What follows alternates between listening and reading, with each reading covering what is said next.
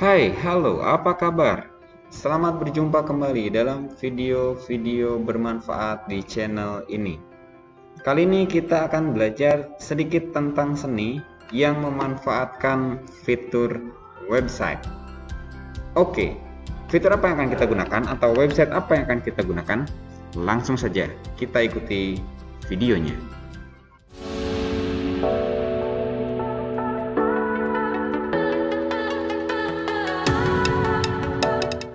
Baik, kita akan menggunakan Canva. Mungkin sebagian dari teman-teman atau anak-anak sudah pernah menggunakan Canva. Ya, kita bisa cari di Google dengan mengetikkan Canva. Nah, di sini ada banyak canva.com.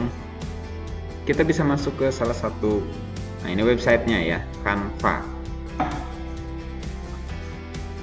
Kita bisa login uh, dengan menggunakan akun Gmail kita untuk mempermudah kita mencari eh, template-template uh, ya. Oke, jika pertama kali masuk, nanti setelah login menggunakan akun Gmail kalian akan diarahkan ke beberapa pilihan ini. Apa tujuan Anda menggunakan Canva? Kami akan menggunakan informasi ini untuk memberikan rekomendasi jenis dan template desain khusus untuk Anda. Jika kita mengklik sebagai guru, maka nanti akan diberikan beberapa rekomendasi yang hubungannya dengan guru atau bahan ajar dan lain-lain. Sedangkan jika pribadi, berarti banyak hal yang hubungan dengan pribadi, posting IG, YouTube, dan lain-lain. LSM, pelajar, dan lain-lain. Ini bisa kalian pilih, tentukan salah satu saja, misalnya kita coba pilih yang pribadi. Nah, maka nanti akan e, muncul seperti ini, ini bisa skip aja. Ini uji coba untuk Canva Pro sebagai informasi saja, Canva Pro ini e, berbayar yang nanti akan memiliki kelebihan-kelebihan dibandingkan dengan e, member yang bukan pro ya. Jadi kalau kita berbayar ada beberapa fitur yang bisa kita gunakan langsung yang tidak bisa digunakan oleh yang member yang free. Tapi ini bisa kita skip saja. Karena rasanya dengan yang free saja e, itu sudah cukup ya. Di sini ada banyak fitur. Ada ini bisa untuk uji coba mulai dari desain kosong, kemudian ada untuk kebutuhan desain video, untuk presentasi, kiriman Instagram, poster, resume dan lain-lain. Untuk yang pertama kita akan mencoba untuk kiriman Instagram. Oh iya, sebelumnya di atas ini juga sudah ada ya. Ini template. Template itu artinya contoh-contoh yang bisa kita edit ulang. Ya, bisa kita tambahkan foto, tambahkan tulisan dan lain-lain. Ini fitur uh, beberapa bisa dicek aja nanti bisa dilihat sendiri untuk belajar, untuk harga ini kita ada di posisi member gratis. Kemudian pro itu nanti berbayar, ada kelebihan-kelebihan tertentu, kemudian enterprise, pendidikan dan nirlaba. Kita mulai saja. Untuk mempersingkat waktu, kita akan coba menggunakan kiriman Instagram. Kita coba pakai uh, bisa pakai ini juga ya media sosial. Kalau kita klik ini, ini kita membuat desain kosong. Tapi kalau kita menggunakan ini, ada beberapa template yang bisa kita pilih. Oke, kita coba dari sini saja ya. Buat desain kosong. Biasanya untuk posting postingan Instagram itu berbentuk persegi eh, 1080 kali 1080 pixel ya seperti ini. Ini sudah ukuran sesuai postingan IG. Kemudian di sebelah kiri ini ada template. Template itu adalah e, contoh atau bentuk dasar yang bisa kita gunakan yang nanti akan kita rubah sesuai dengan kebutuhan kita. Misalnya kita akan mencoba menggunakan ini. Ini ada tulisannya gratis ya, artinya ini bebas kita gunakan. Kalau yang ada gambar mahkotanya warna gold itu biasanya harus berbayar. Oke, kita coba menggunakan ini supaya bisa memasukkan foto juga. Nah, ketika diklik, maka ini akan otomatis muncul di halaman atau lembar kerja kita. Kemudian bisa kita uh, klik setiap bagiannya. Ini yang nanti akan kita edit, akan kita ganti dan seterusnya. Misalnya ini tulisan ini juga bisa kita ganti ya. Uh, di sini tulisannya the news. Ini double klik saja bisa kita ganti tulisannya misalnya uh, apa ya? Ganti tulisan yang dikehendaki saja bebas ya. Misalnya ini yang kecilnya adalah it's yang new-nya ganti me. Jadi it's me.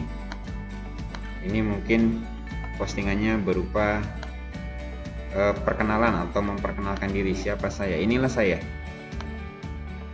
Sini bisa kita tuliskan apa pun itu mau deskripsi tentang diri kita atau apa pun itu. Saya adalah seorang pembelajar yang tangguh. Misalnya ya. Terus di sini boleh diisi boleh tidak nama kita. Misalnya Andre terus ininya pembelajar tangguh. Nah di sini bisa kita tuliskan juga alamat website kita eh, sosial media kita. Kalau tidak diperlukan ini bisa dihapus juga delete. Ini juga bisa di delete kalau tidak digunakan. Kalau mau digunakan silahkan. Nah ini bisa kita geser-geser juga ya sesuai dengan kebutuhan kita mau ditempatkan di mana kalau pertama memang banyak eh, peringatan seperti ini ya. Misalnya ini ada fitur pisahkan.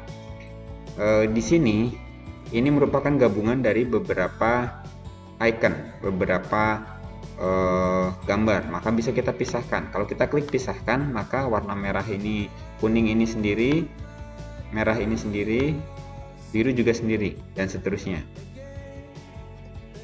Oke. Lalu kita kita lanjutkan dulu membuatnya kemudian ini sudah kita tulis. Kita mau ganti foto nih. Di sini fotonya kan foto orang. Kita masukkan foto saja.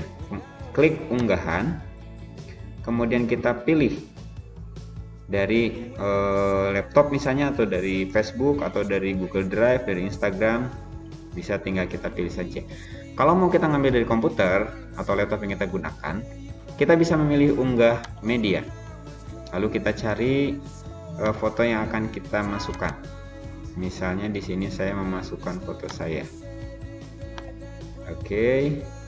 nah di sini ada proses upload ke Canva. Kalau sudah seperti ini berarti sudah bisa digunakan. Ini tinggal kita letakkan di sini. Secara otomatis dia akan ngefit akan menyesuaikan dengan ukuran yang ada.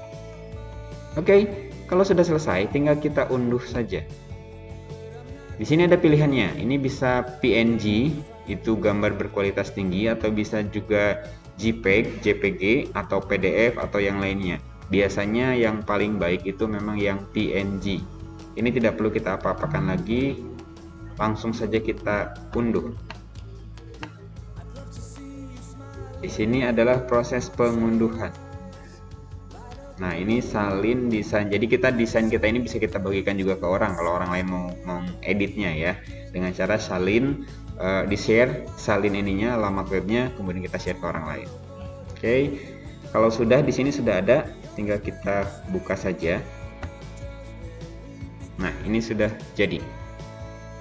Kurang lebih seperti itu e, hasil akhirnya. Ini kalau sudah jadi kita sudah kita download, tinggal kita posting saja ke sosial media kita. Di sini sebenarnya ada beberapa fitur lain. Mungkin saya bisa sedikit jelaskan. Di sini ada template tadi yang bisa kita pakai. Di bawah sini ada elemen. Elemen itu adalah gambar-gambar kecil. Nah, tapi ingat, kalau ada gambar mahkota tulisannya pro ini tidak bisa kita gunakan karena kita harus berbayar. Tapi yang gratis juga banyak kok. Ini nanti bisa dieksplor sendiri. Ada yang kategorinya bunga. Ini bisa kita masukkan, kita letakkan di mana mungkin kalau tidak diperlukan. Nah, ini ada banyak ya.